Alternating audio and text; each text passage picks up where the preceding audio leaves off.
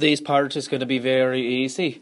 Um, we're going to be looking at adding and subtracting functions uh, and just the different ways that you can um, denote this so that you, you actually like know what to do when you see something like this. It's very, very simple. So the first thing that we're going to look at is given some function f of x and some function g of x, uh, this notation, f plus g of x, that's how you say that, is the same thing as taking those functions and adding them together. So that all that means is take the functions and add them together. So that's oh, I mean, we're halfway done. We're actually more than halfway done. This is really it's just introducing this notation if you haven't seen it before. So that's one way to write addition, uh, and then subtraction is a similar case. So we have all the same things for f minus g of x. Uh, something that people always miss when you have two things. Uh, it's not just with this type of like problem. When whenever you're trying to subtract functions, a lot of people always forget to put parentheses around the second function when they're subtracting, uh, because we want to subtract the whole entire thing, not just the first term of the whole entire thing. Uh, so let's just take a look at some examples, and you'll see how simple this is. It's really just clearing up some notation. So we're given two functions, f of x, which is this, it's a cubic function, and g of x, which is a quadratic, and we're supposed to find what happens, uh, what, what do we get when we take f of x and we subtract g of x from that. So f uh, minus g of x, that's, that's what we're finding out right now. Uh, all that means is take these two and subtract them. This is what I mean, though, by um, putting the second one in parentheses. So first I'm going to just write down uh, f of x, and then I want to subtract g of x. But here's here's what I mean by putting in parentheses, and I'll subtract these two. Um, this is if I don't put these parentheses around, then really I'm just subtracting x squared and I'm adding a negative 4x and I'm adding a, a negative 5. Hopefully you understand that, but what I what I need to do is put the parentheses around it and then distribute the negative to each of the three terms that I have. Um, that guarantees that I'm subtracting all three of those terms, which is makes up g of x. All right, so I'll just I'll distribute that, and then I'll just combine like terms. So that minus sign just changes all of these signs. We've done this before. It's very very simple. And now I'm going to go look for like terms. Remember, like terms are terms that have the same variable with the same exponent. So I don't have any like terms for uh, 2x cubed because there are no more x cubes. Sorry, negative 2x cubed.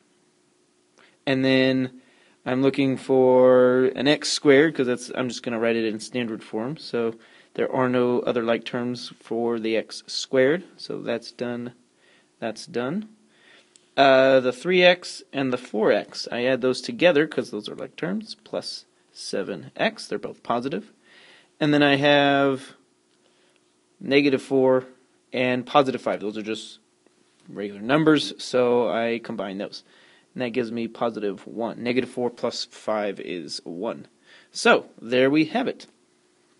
f minus g of x equals that polynomial. It's a cubic uh, polynomial, and uh, that's what we get. That's all we're doing. That's it. That's as complicated as it gets, uh, for, for today, at least. The only difference when you have addition is uh, that you just add the two. You don't have to distribute any negatives like we did here.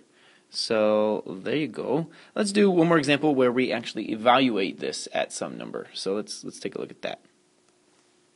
Okay, on this one, uh, it says find g minus f of 10. So really, all we're going to do is the same thing that we did above, uh, but then we're going to plug in 10. There's a couple of different ways you could do this, but I'll, I'll mention the other way after this. So the first thing I'm going to do is find g minus f of x, and then I'll plug stuff in. So let's let's see what that is. Remember, it's g minus f, so I have to start with this one. And I am subtracting, so I get minus parentheses 4x plus 4.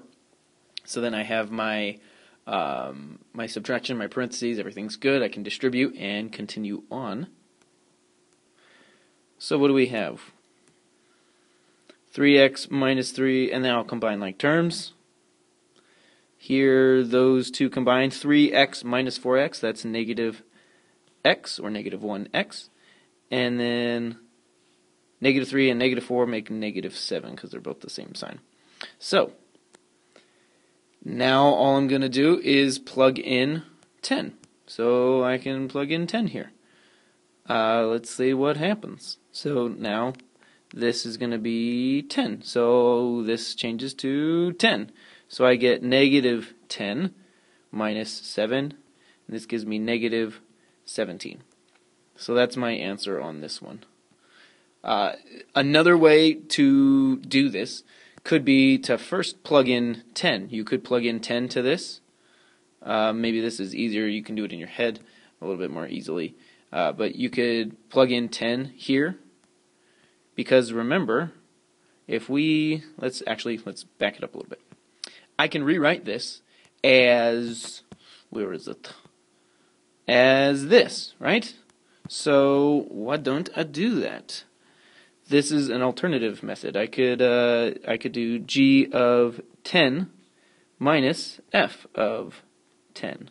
Well, g of 10, that's just what I get when I plug in 10 there. So that would be 40 plus 4. That's 44. Nope, I plugged it into F. That would be this one. So that would be 30 minus 3 is 27. And then plug in 10 to that, that would be 40 plus 4 is 44. And what do you know? 27 minus 44 is still negative 17. So that's another way to do it. Um, whichever one you're more comfortable with. I feel like when you have when you're evaluating stuff, it's easier to plug it in first and then go from there. But sometimes it's not. Sometimes it, it, you get a simpler function. Um, so there you go. That's it for this. Have a good day. I'm blue. Oh, all right. Bye.